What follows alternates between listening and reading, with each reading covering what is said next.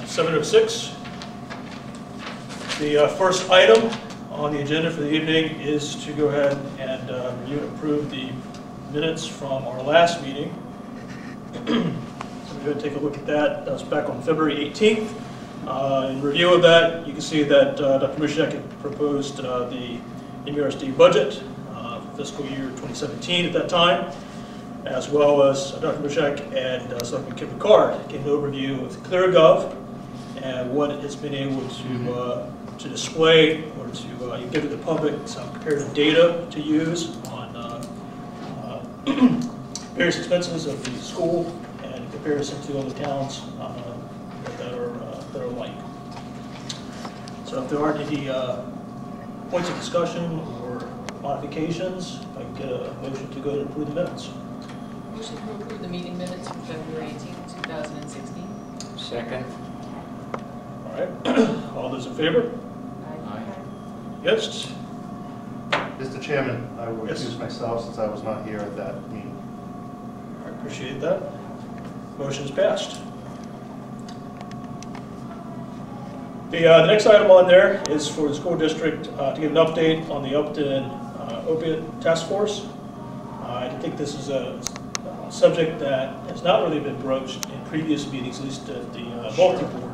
Yeah. So that may be helpful to, uh, for those that are watching from home or later on by, by stream, to give them some sort of uh, foundation as to how this has come about. Uh, Perhaps the players that are involved in that, uh, uh, those that are sort of designing the plan itself, and how it's being executed. So, Mr. Chairman, if I may start, at at our last meeting, when we went, when the Board of Selectmen in Upton went through their appointment uh, schedule, we actually went through and officially appointed um, the the task force members, which is, and again, I apologize, I don't have the list in front of me, but it's- it's comprised of uh, the Board of Selectmen, Dr. Maruszczak, uh, Police Chief, Fire Chief, um, concerned parents, um, professional individuals out of Milford, and um, other um, in- incredible agencies that are, all have the same interest at heart, uh, which is um, dealing with this horrible, horrible uh, situation and what we have in front of us. Um, Being part of this, Dr. Maruszczak and I were um, at the last meeting. Um, It was probably one of the most powerful meetings I've ever been to. Um, And for those who know me, I'm not, you know, I consider myself a quiet person, but you know, I'm not. But I couldn't help but just sit back and listen. And I was, all I could, all I could say, I was in awe as far as what I heard from uh, parents uh, who have lost individuals because of this, and close members of their family, from sons and, and- and family members, and, and uh, just professional agencies who are so in-depth and in tune with what's happening. Um, The only input that I could provide at the last meeting was, that I, that came out of it was, too many times, we react, you know, we take a reactive approach when something happens. Um, You know, we wait until something happens, then we say, how could we have prevented it? You know, what do we do about it? And how do we work with others to, to educate them? And with this situation, you you really need to take a proactive approach as far as, you know, hitting it head on and don't, you know, no one's exempt. No one's exempt by this uh, um, situation. And, um, you know, you really need to take a proactive approach with, with dealing with this. So I am very proud to be a member of this um, task force and um, truly look forward to, again, with Dr. Maruszczak and, and, and all the, the talent and very supportive and passionate individuals on this commission that hoping to do good things. If we can just reach out to a few people and help as, as many as we can, then we're doing our job. If I can piggyback on some of Jim's comments, um, I, I agree 100% with everything that Jim just said.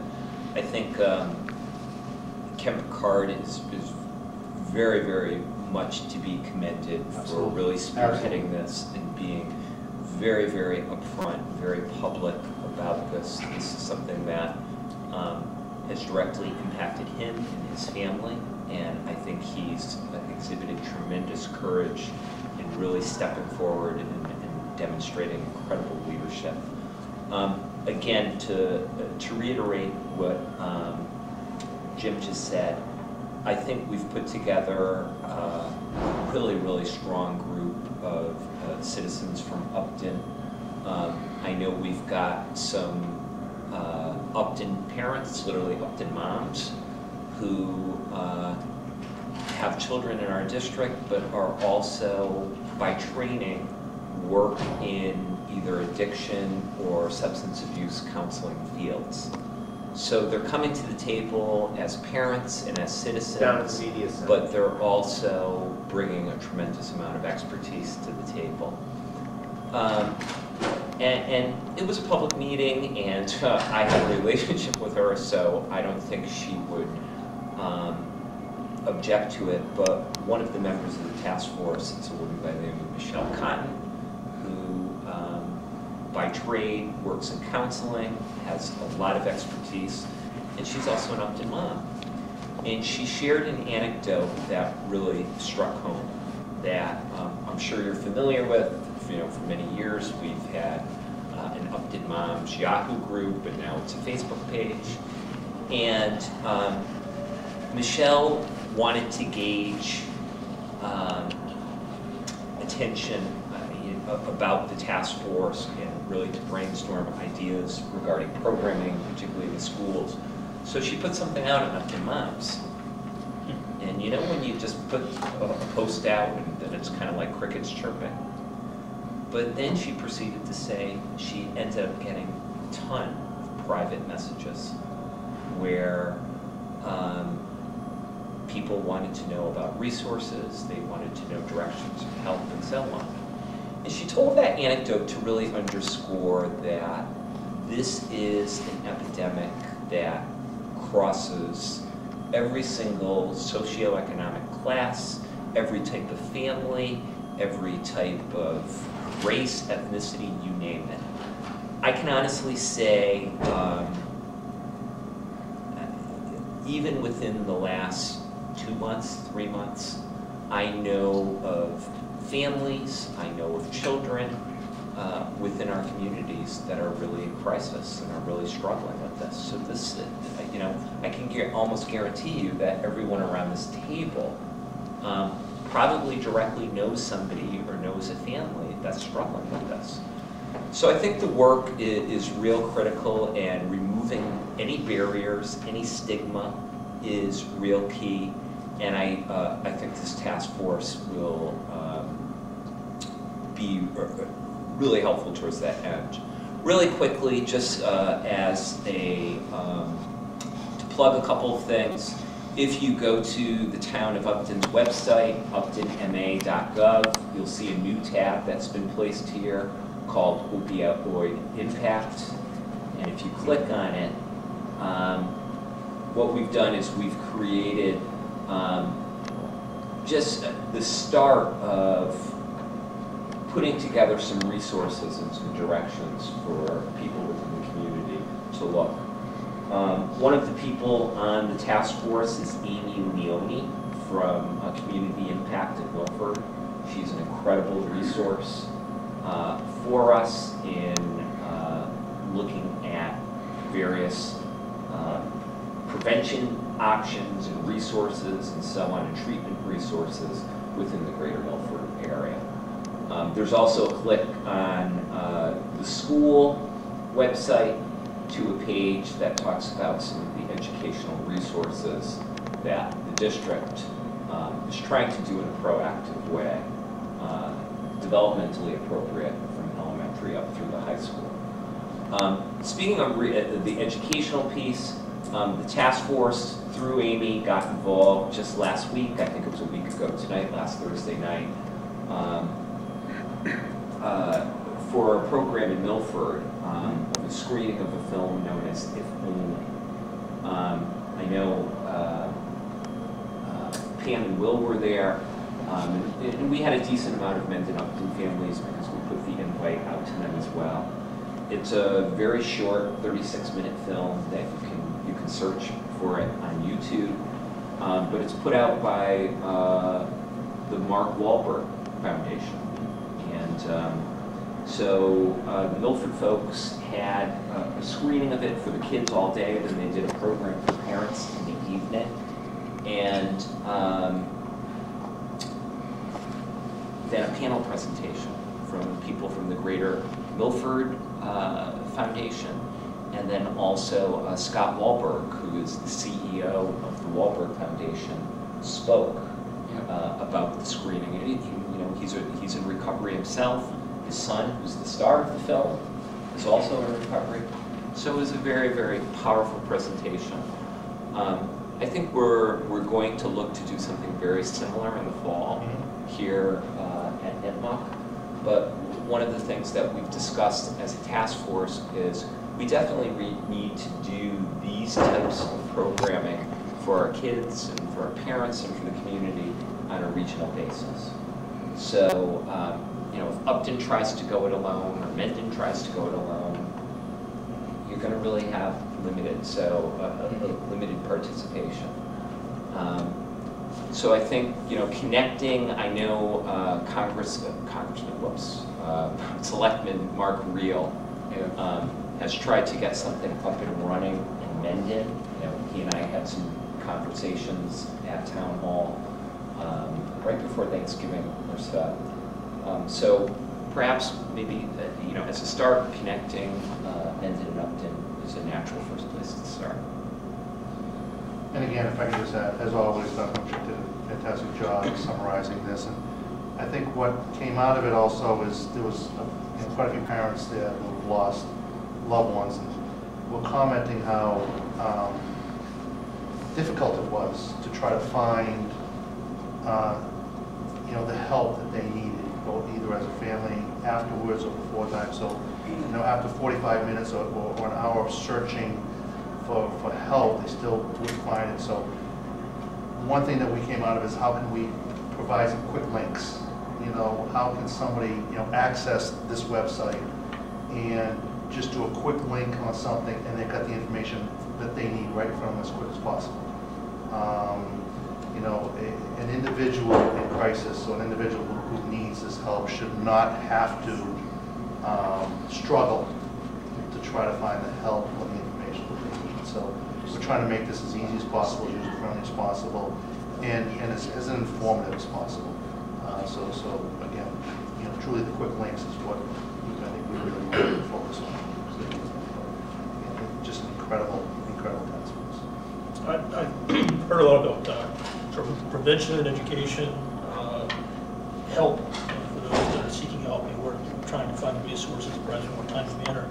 Um, Is there any sort of baseline or any, any uh, consideration in trying to measure an impact as to looking at kind of historical data that are affected, and unfortunately, perhaps those are affected in the future, to try to, to see, see what sort of impact is being brought by having the task force? I think the priority right now has been to actively brainstorm, solicit our community members as far as the types of programming that they want, and particularly with the younger kids, the proactive programming that they want. Um, And then once we have programs in place, then do that evaluation piece. I think educate and communicate are the two Yeah. biggest keys at the moment. We need to educate. Again, I learned so much in 45 minutes that Yeah. I- it it was indescribable. Um, So I think, you know, we need to educate and communicate. You know, educate people, communicate what's available. Well, yeah, I'd certainly recommend that, uh, you know, coming back in the fall, we kind of meet back up, and we uh, see what relationships, if any, have kind of developed in uh, their involvement. And, uh, you know, please try to speak to this maybe once or twice within the- the next fiscal year.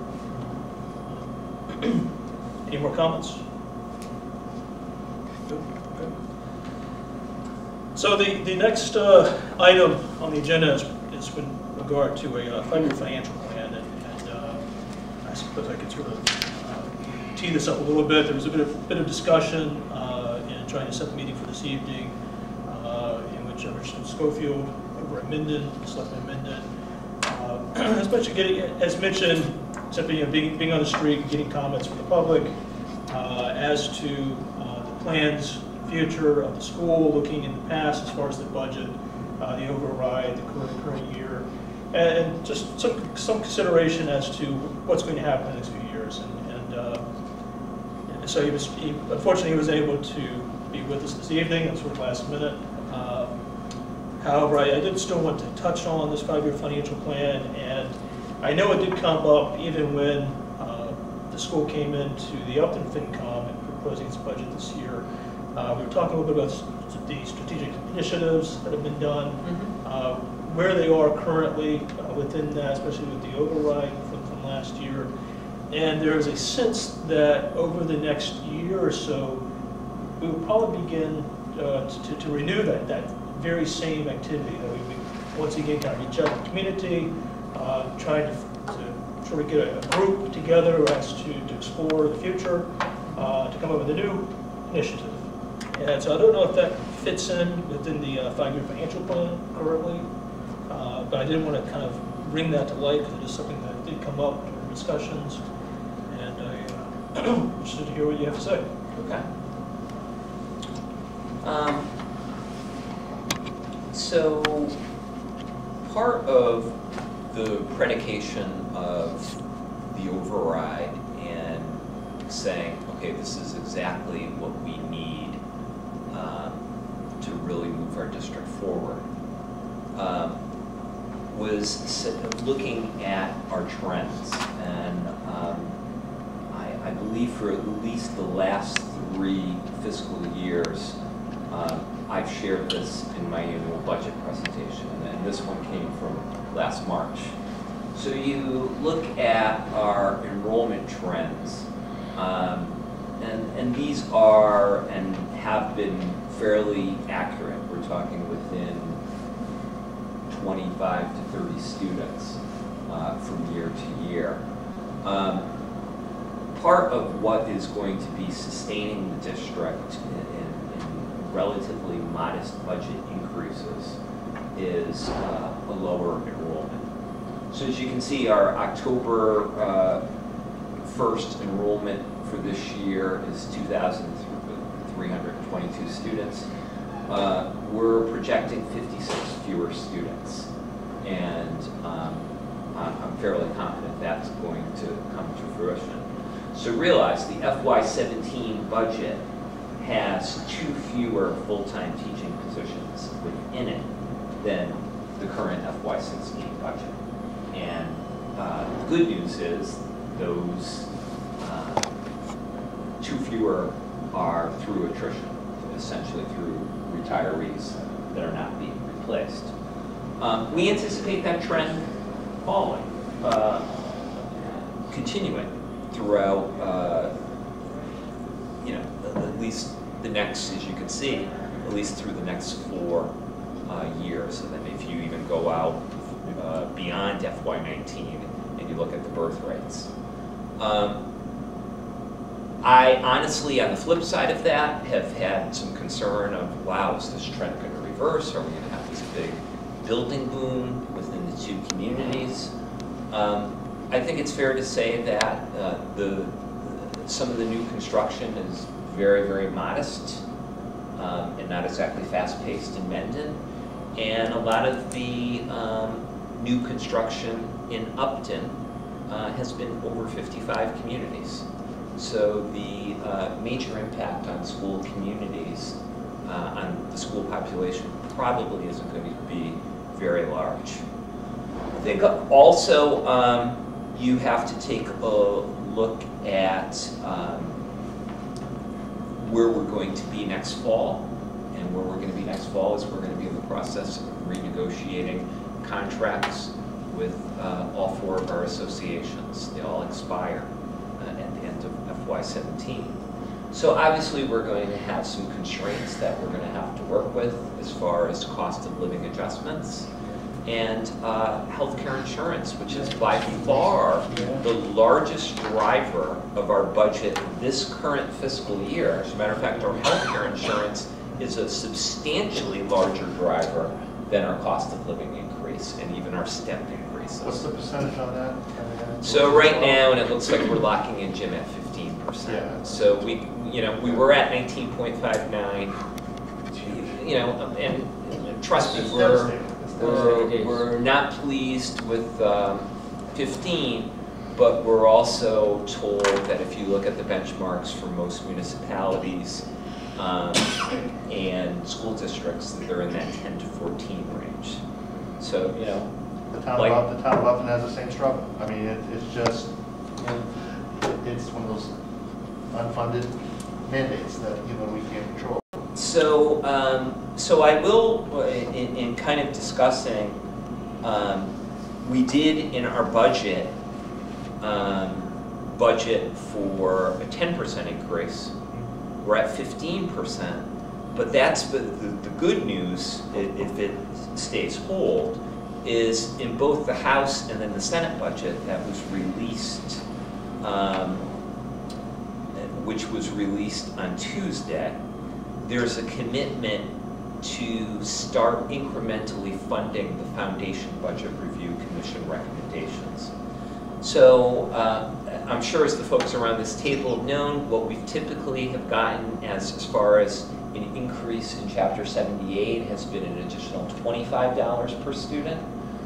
With these recommendations, uh, the House and Senate budget has come out as an additional $55 per student. So that represents versus Governor Baker's budget, an additional seventy-five thousand in chapter 78 to the regional school district. That's gonna go a long way to close that gap between the ten and the fifteen percent in healthcare insurance. So I guess the Lord giveth and the Lord taketh away, Yeah. you know, it's it's kind of a balancing It's a push. Yeah, exactly. Um, so, but the good news that came out in the Senate budget was some very explicit language talking about a commitment over a five to seven year period to adequately fund those Foundation Budget Review Commission recommendations, particularly around uh, the funding of healthcare insurance or employee benefits and special education costs. So realize, you know, and I, I presented this to the school committee, I want to say back in November, with the full implementation of the Foundation Budget Review Commission recommendations, that would represent annually about an additional half million dollars to uh, state funding for the regional school district. So that's substantial. So, uh, you know, again, anything could change, we could be hit with another recession, there's gonna be variability, but at least it's trending in the right direction. So I think that's uh, another consideration. Um, I think what we can talk about, and maybe we can shoot for this for the next meeting, and this may predate some of us uh, around the table, but realize, and I think this is where Rich Schofield was coming from, um, during FY twelve, Rich, Jay Byer, and then Don Moran, who was uh, a Mendon School Committee rep, um, actually created a five-year model projecting uh, town expenses, at least town of Mendon expenses, and uh, the regional school district expenses uh, through what, FY eighteen? Yeah, it was seven years, 11 to 18.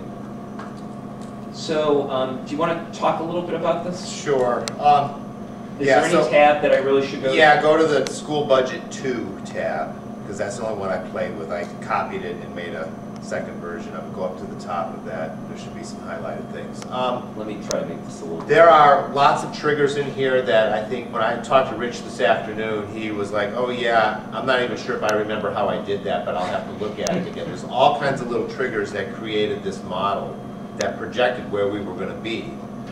All I did today was say, okay, if you look at row 15, you'll see total operating budget. Those were the projections across, um, why does that say 31, Joe? Um, You're on the, That's forecast. yeah, my page that I'm looking at doesn't say that at all. It says 28109. I wonder if I can project up there.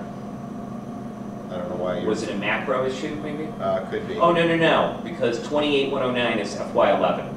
Okay, oh, you didn't have FY eleven Yeah, showing. sorry. Okay. So you can see the projections for where they were going based on the scenarios we were working on at the time. In that kind of orangish color is what we actually did and have for 16 and 17 and the difference from the forecast. So you can see by the time we get to FY '17, we were projecting $10 million higher for an operating budget than we actually are ending up at. So obviously, we were projecting fairly high based on what we were facing in 10, 10 and 11. Um, When I talked to Rich today, he and I both said, you know what, let's sit down, let's update this whole thing, get new, get everything in there where it should be and project out again using the historical trend of 11 to 17 or 11 to 16. And we then could probably look at 16 to 21 based on that historical trend. What was done before that was based on the previous probably five years. Um, So, excuse me, we probably have a lot to do to play with this, but I think we can use this model to see where it kind of pushes us, you know, going down the road. I mean, it has enrollment levers in there. I, you can see all the tabs. It's got, you know, expense levers, re- revenue levers. So we're gonna have to do a little bit of updating, but it's heartening in my view to see, okay, we were projecting a budget of uh, 42 million in FY '17. We actually are only at 32 million. So we saved you $10 million, right? You got some crazy, Yeah, now, so to put things in perspective, um, the increase from the current year to the certified budget is one point seven nine percent. Okay? Um, Overall, with the exception of the override year, which represented a six point three percent increase, every increase, and I can speak from FY eleven to the current year, um, has been two percent or less.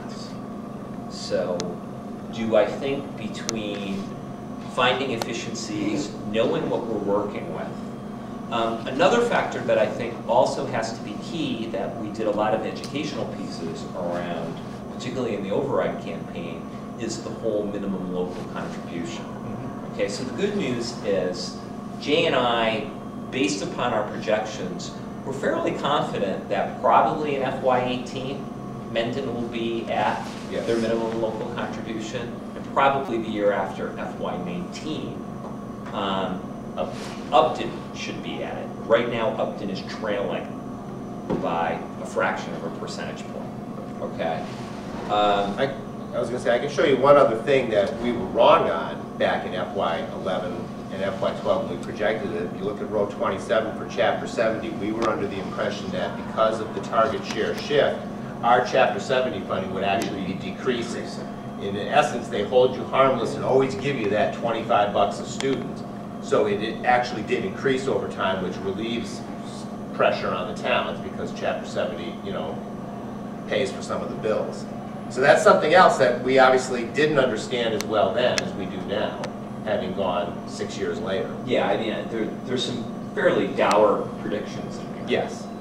So I think, like I said, Rich and I are gonna work on this and update this, and we can bring it back uh, probably in the fall and, and give you guys an update on where we think we can project from that. I mean, I've done my own projections over time as well.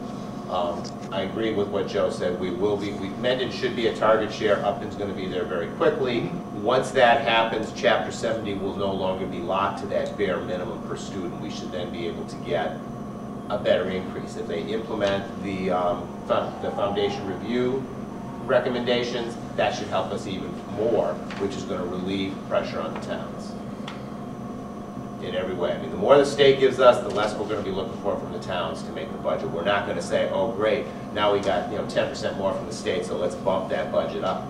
Uh, because we still have enrollment dropping, we're still looking at attrition, um, we're still looking for cost savings, all, all, you know, as always. But Jay, correct me if I'm wrong, but it really is full circle though, because you said how the, you know, the, the more we get from the state, less we're gonna ask from the town, but yet the ta, the state sees what the town's contribution is, so it really is Right. kind of like a full, like a full, like a full circle. Don't forget, both towns contribute considerably above foundation budget, um, and that's beneficial. Minimum contribution is going to continue to increase, but the overall levy in, in general is going to be adjusted accordingly. Even this year in FY seventeen, that so-called override amount that's above foundation budget is less than it was the previous year because minimum contribution is making that up We, or, for lack of a better term, we dip into that Right. to meet the Right. minimum local contribution. you know, so obviously if we projected a budget that was up one and a half million instead of half a million dollars, then that wouldn't happen, but we're not doing that because we're trying to do the opposite. What, what are your initial thoughts when it comes to healthcare? You know, 'cause I mean, that's something that in the last few years, we've seen double-digit increases now uh, within, as far as a change. And and I kind of question whether or not that's sustainable. Well, Uh, So it's, We haven't really. This year, we're hitting fifteen percent. Last year was three and a half percent, and the three years prior to that was zero, zero, Zero, zero, zero. So if you take that eighteen and a half percent over that five-year span, that's, that's what, uh, like three and a half percent, which really uh, isn't all that unreasonable, four percent, um, when you measure it out. But the cost of healthcare is a problem in that the way the system is set up, they just charge premiums, right? They, they want to make their profit over what, you know, it's revenue, what they take in in premiums, and expenses, what they pay out in medical services. And they want a 10 to 12% profit margin in there. And they're going to hit that margin by raising your premiums. So one way is, you know, you, what you can't control is have people not get sick. right. That works really well, but it doesn't when people do get sick, and that's why you have insurance. Now, was there any sort of indication or uh, assurances within the last, the last increase as to what would be happening over the next year or so? As a matter of fact, we complained up to the day, you know, a couple, it was a few days ago that we finally realized that 15 was going to be the best we were going to do. But I kept arguing, you know, we had those three years that were zeros, we should have had reductions. We were at 78%, not 88% where they want to be. And yet, zero is the best they would do. They didn't say, And well, they you make can go down themselves look like 2%. that they're giving you zero. Yeah. So a little bit earlier, you also mentioned that you have four contracts coming up over the next year. Mm-hmm. And I know it's something that I've brought up previously, I know it's something that uh, I think Upton to extent has looked at its own healthcare and and what it's doing with its employees. Uh, Is there some additional opportunity, at least while negotiating contracts, uh, that you were able to bring up or to try to solicit solicit interest in other options? For instance, uh, you know, high deductible, use of HSAs, any sort of uh, matching or additions given from the school to choose, sort of incentives to choose the high deductible or HSA. Are are those things that, again, being in a contract may be more difficult, but in going into negotiations, is something that can come up and at least be broached? Absolutely. We actually already did it four years ago. What you're, what Upton is trying to do now, we did four years ago, which is go to a thousand dollar deductible per individual, two thousand per family. Um, There are other negotiable things. We now pay that um, deductible piece because it still was a savings. Maybe you try to shift some of the burden of that to the employees or, you know, the biggest, one of the biggest drivers for us is PPO. PPO versus HMO. Uh, The PPO is considerably more expensive. We don't have a ton of people on those plans, but they are much more expensive, and it's still the same 75, 25. Maybe you try to negotiate that. All that is up for negotiation, and we're going to work our best to try to do anything to get those costs. But it doesn't change the overriding factor that if you get a 15% increase, it's a 15% increase. Yeah, we, we, um, this current three-year contract, uh, across all of our uh, associations, you know, I know Diane was part of the team that negotiated it. Um, It wasn't necessarily easily, easy to get there, but we eventually got there. We actually had uh, a contract that was, kind of the reverse balloon in the sense that I think the COLAs went to 1.75 and then down to 1.5. And this year, uh, with the 1.5, we also put in uh, what we refer to as a leveler or something to slow down the increase, of the step increases, which are, which are the year, increases for years of service and then attainment of the additional degrees, you know, like the master's, master's plus 15 credits and so on. So that was very, very helpful. Um, you know, I, I've uh, been on board for two contracts now. Both contracts contained those types of pieces, you know, with the levelers and so on. So I'm fairly confident um, we'll arrive at the same place next year. in, and the sense that, um, you know, having Jay around the table and Jay's data as far as being able to take an Excel spreadsheet and to take a look at all of our salaries and very quickly to plug in a COLA and then to advance people along the step and sa uh, lane scale and so on, and be able to see, okay, what are those costs going to be in FY eighteen and then nineteen and twenty? I'm very confident that we'll be able to do that. And it really comes down to a piece of, okay, knowing what you potentially have available to you and living within that. But I think, you know, moving forward, I mean, it's, it's unfortunate that Rich couldn't be here, but I think we can take this work that was done uh, back in FY eleven, FY twelve, and refine it. All right, well, that sounds like a good, good spot as well to uh, bring back up in August, or going in September, going next year to uh, have some that up front, uh, especially during the budget season. So, Any other discussion? Something? Jay? Nope, Good? I'm good. All right. Then the uh, next item on here is something which uh, really this, this group uh, was founded um, you know, to participate in, which is uh, looking for ways to uh, economize, to uh, uh, reduce costs, to, to find efficiencies. Uh, It's something that Jim uh, brought, brought up, uh, was soliciting some interest for some items this evening for the agenda about projects, purchases, potential cost savings. Uh, And it- I know as an example, you mentioned the fence uh, that had gone recently, so I don't know if you Yeah, can if I may, Mr. Chairman, again, and I just, and again, we don't need to, um, you know, spend a lot of time on this subject. It's more of just a, uh, and I'm just as guilty um, as as everybody else is, as far as, you know, upcoming, uh, you know, any projects, purchases that that we're all doing, just to reach out. Uh, Jay and I speak quite a bit, uh, via email on on different things. One thing that came about just this last week was Valley Tech is looking for, you know, trying to put in a, uh, which we're we're trying to find funds to put in a backstop for our uh, baseball field.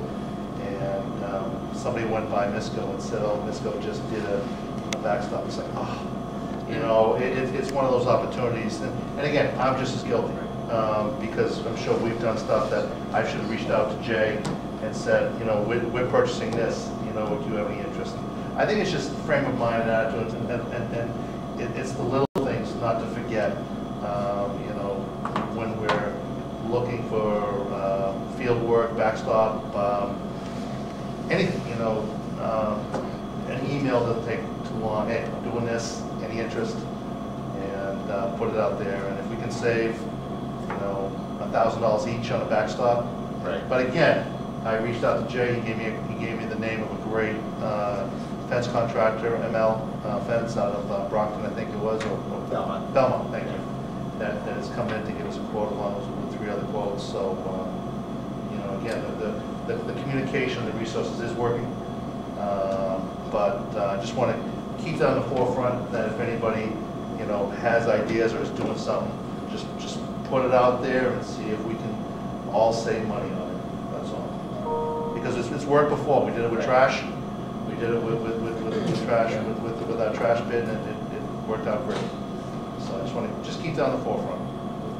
Yeah, I agree. It sounds very simple, It's one of those things that doesn't always occur to you when you're doing it, and then, like you said, all of a sudden it's like, oh. like I said, I'm just as guilty. And would we have saved anything? Who knows? I mean, you Yep. know, it's hard to say because you're paying by the foot sometimes. But either way, sometimes it- I- guys Putting on the come in and flip say, side, you know I what? gotta make contact. I'm gonna do two and they're within two miles of each other, so maybe I can get these guys a little Yeah, better save a deal. thousand dollars each, Right. you know. um, So I just, and again, that's all I want to say, just, just to keep it on the Yep, forefront. I agree. Well, is, is there anything additional, you know, you mentioned communication, I know that's key.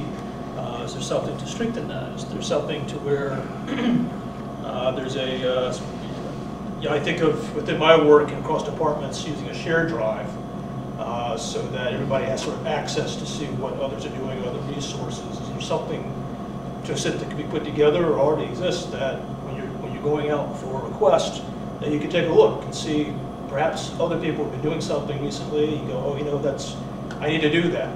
Or is, is there anything of that nature that,